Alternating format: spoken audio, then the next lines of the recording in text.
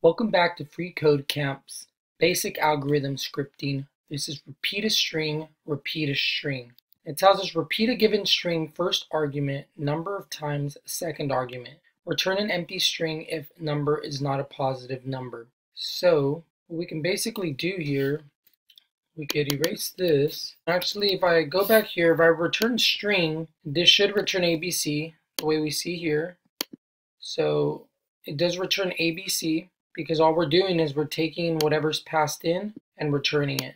So what we want to do is when we uh, run this inside of our function here, we wanted to essentially repeat the first argument the number of times that is passed in is the second argument. So what we can do, well, let's see first, uh, they gave us this helpful link of a global string, which uh, takes us here, and uh, it just talks about strings here.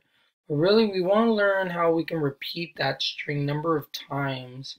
And if we just uh, kind of look through the different stuff that's available, properties, methods that could be uh, performed on strings would be uh, these here. We want something that repeats though.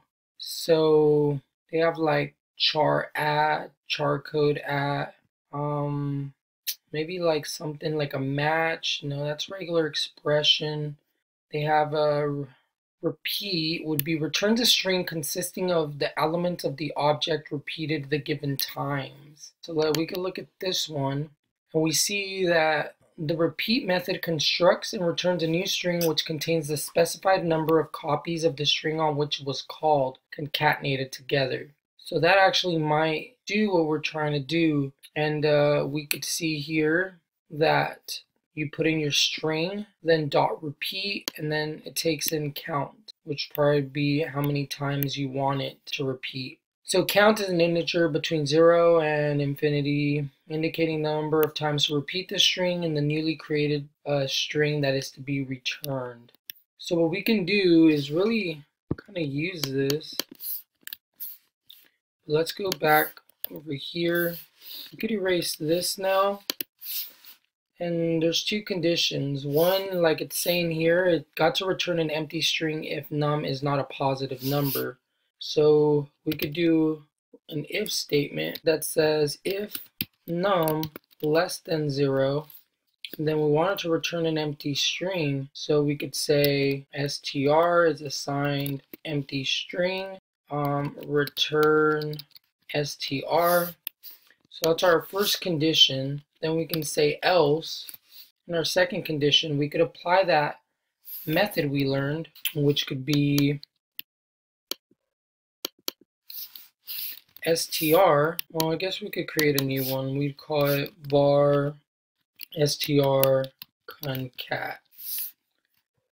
And we want it to repeat number of times, which is whatever is going to be passed in and we just want to return string concat. So the logic behind this is we should be able to pass in whatever we want when we call repeat string num times. Whatever string that we pass in as the first argument must be repeated the number that's passed in here. Unless this number is negative, which is what our first if checks. If it is negative, it returns an empty string. But if it is not negative, then it runs this code which will take that string and apply the repeat method number of times and then we return that string number of times. So let us try this, see if it works. As you guys can see, we did pass it and when ABC is passed in, we see ABC, ABC, ABC. So that is repeat a string, repeat a string in freeCodeCamp's basic algorithm section.